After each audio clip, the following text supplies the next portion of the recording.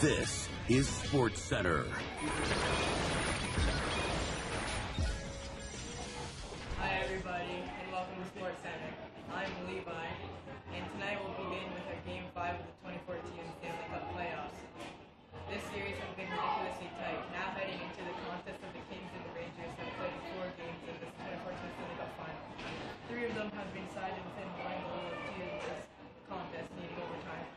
Winning Game 5 will the Cup third tied up in the second period, the Rangers shorthanded Brian Boyle and Luke Downey get a shot and throws it on Johnny Quick's shoulder.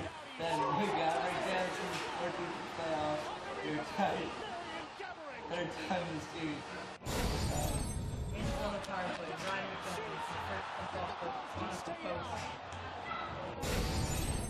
to Clifford. Five Feeds it right side. Foley Toffoli with a shot. Save rebound. Score! That's it. He scores.